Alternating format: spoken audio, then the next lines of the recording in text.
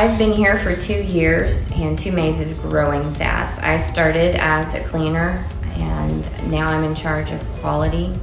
No nights, no weekends, good pay. I love working with two maids. Um, they're very flexible. and Angela's great on working with you. I love working here because we have an amazing company culture.